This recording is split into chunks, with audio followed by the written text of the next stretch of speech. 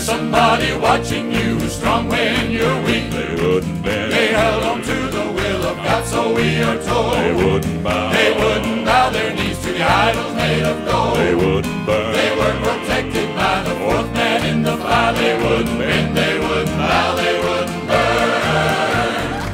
Burn. The prophet Daniel tells about three men who walked with God.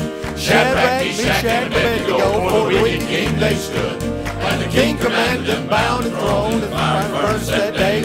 And the fire so hot that the men would see that forced them on their way. They held on to the will of God, so we are told. They wouldn't bow their knees to the idol made of gold. They wouldn't burn.